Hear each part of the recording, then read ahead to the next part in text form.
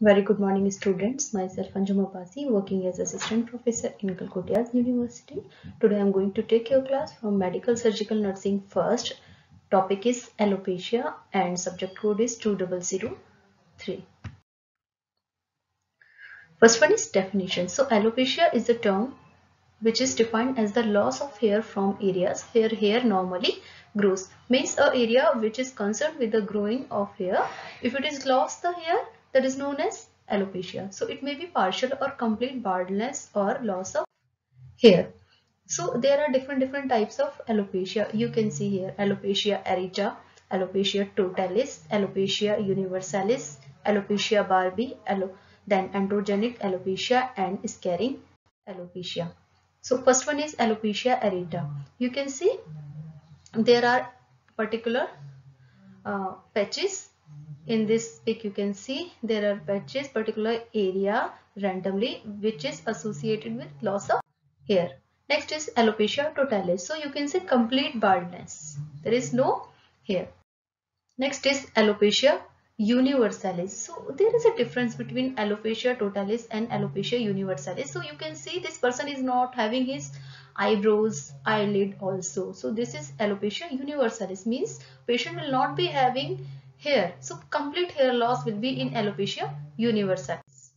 Next is alopecia barbae. So this is based on the location. So men area like uh, their beard area will be having particular area which is having loss of hair regularly. In this slide you can see male pattern of baldness.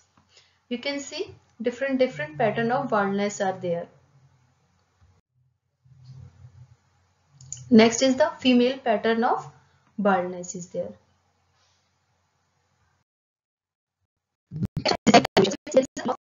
particular growth will be there. So in between there one or two hair will be there and that will be associated with scalp formation and lesion. Next are causes of alopecia. So what are the causative agent? What are the things which are leading cause of alopecia? So exposure of allergen, irritant, toxins, burn injury and infection.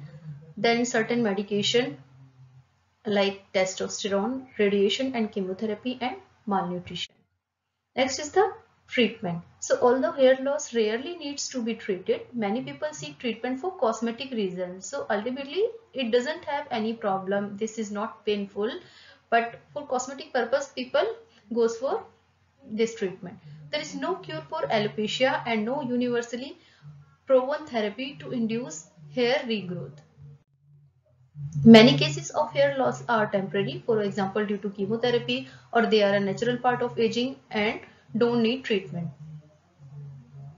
So if hair loss is caused by any infection or any other condition that need treatment and that problem should be cured for preventing further hair loss.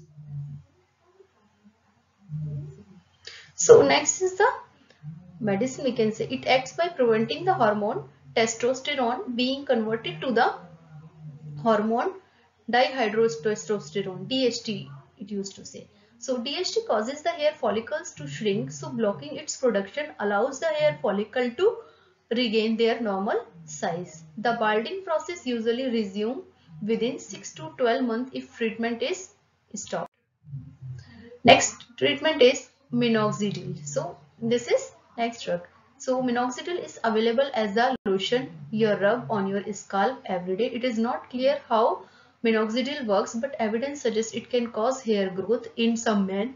Minoxidil is currently the only medicine available to treat female pattern baldness. So student this was about the today's class. In this class we have discussed introduction, definition, etiological factor and various types of alopecia and their treatment.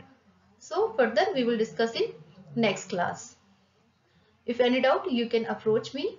You can send by mail your query. My mail ID is 9, uh, that uh, anjumabasi890 at the rate gmail.com. Thank you all.